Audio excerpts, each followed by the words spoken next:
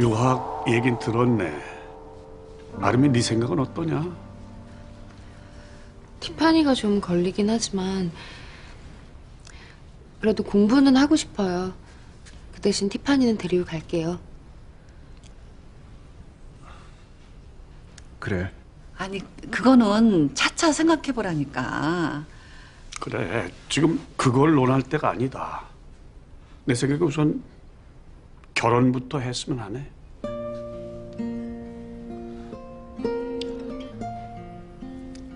네.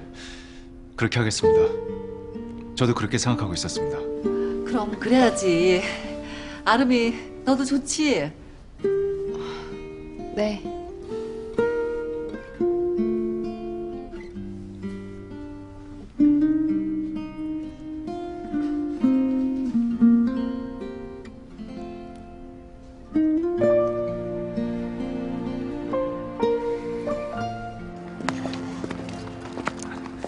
춥겠다.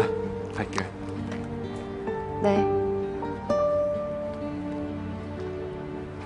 티파니, 아빠한테 인사해야지. 안녕. 잘 자. 갈게요. 드디어 우리가 하나가 되는 건가?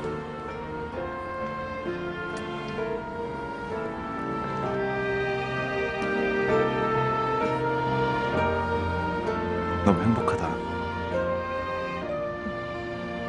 얼른 들어가.